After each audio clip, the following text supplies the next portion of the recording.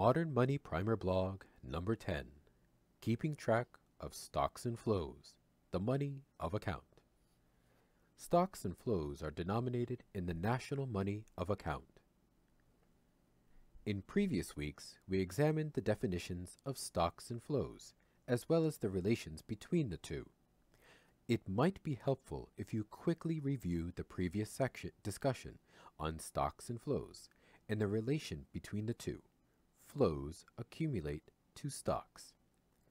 Financial stocks and financial flows are denominated in the national money of account. In this blog, we will go through the details of keeping track of stocks and flows in the money of account. That will also lead us into a discussion of the relation between money and spending. How do we pay for things?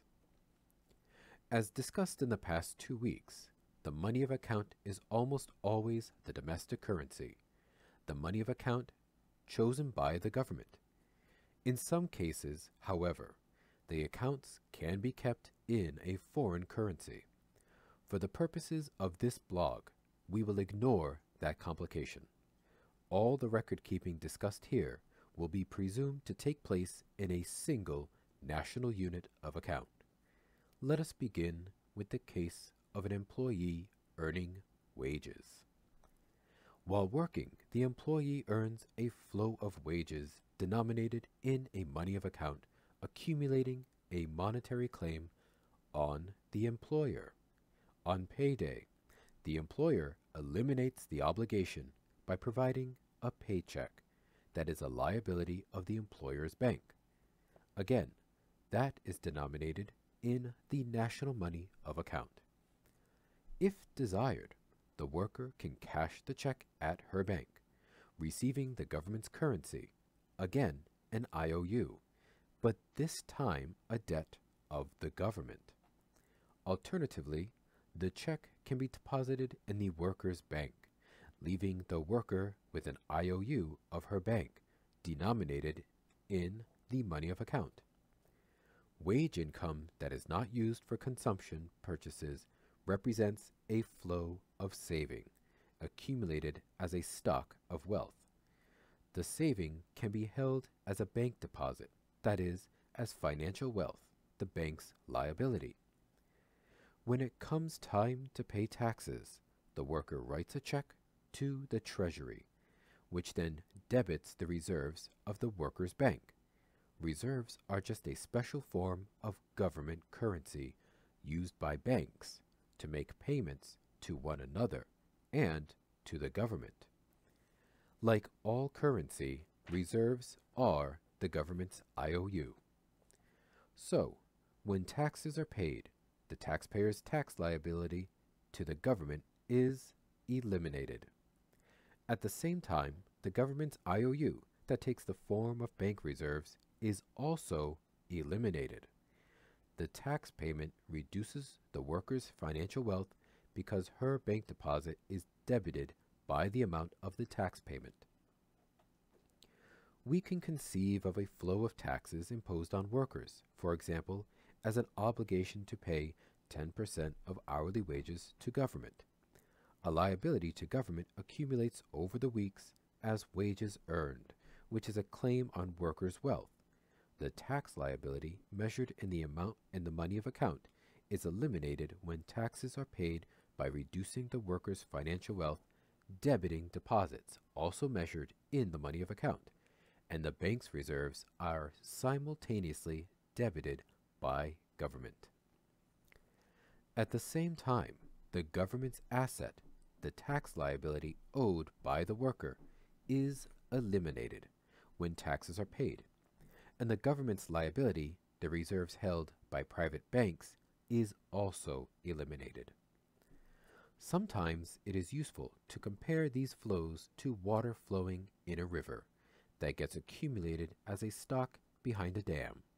However, it is important to understand that these monetary stocks and flows are conceptually nothing more than accounting entries measured in the money of account.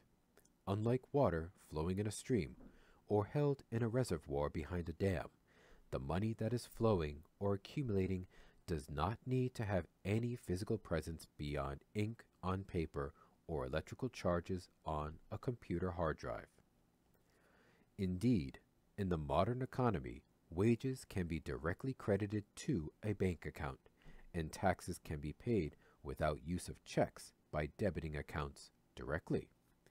We can easily imagine doing away with coins and paper notes, as well as checkbooks, with all payments made through electronic entries on computer hard drives.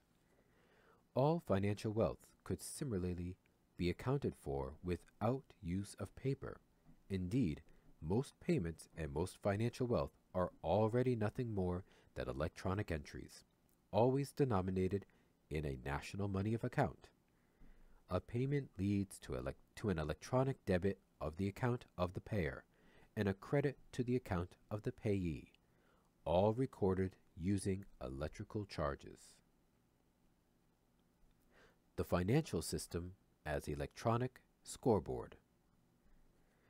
The modern financial system is nothing but an elaborate system of record keeping, a sort of financial scoring of the game of life in a capitalist economy. For those who are familiar with the sport of American football, financial scoring can be compared with the sport's scoreboard.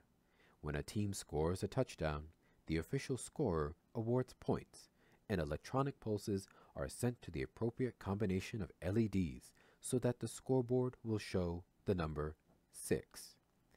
As the game progresses, point totals are adjusted for each team. The points have no real physical presence. They simply reflect a record of the performance of each team according to the rules of the game.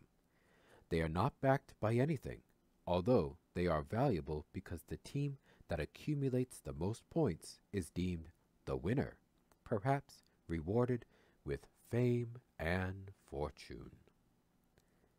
Further, sometimes points are taken away after review by officials, determines that rules were broken and that penalties should be assessed. The points that are taken away don't really go anywhere. They simply disappear as the scorekeeper deducts them from the score. Similarly, in the game of life, earned income leads to points credited to the score that is kept by financial institutions. Unlike the game of football, in the game of life, every point that is awarded to one player is deducted from the score of another, either reducing the player's assets or increasing her liabilities. Accountants in the game of life are very careful to ensure that financial accounts always balance the payment of wages leads to a debit of the employer's score at the bank and a credit to the employee's score. But at the same time, the wage payment eliminates the employer's uh, implicit obligation to pay accrued wages as well as the employee's legal claim to wages. So while the game of life is a bit more complicated than the football game, the idea that recorded that the idea that record keeping in terms of money is a lot like record keeping in terms of points can be can help us to remember that money is not a thing but rather is a unit of account in which we keep track of all the debits and credits or points. Your homework assignment, should you choose to accept it. Think about government spending in taxing in terms of those scoreboard electronic entries. When government spends money, where does it come from? When we pay taxes, where does the money go? In what sense does the government spend the money it receives in tax payments?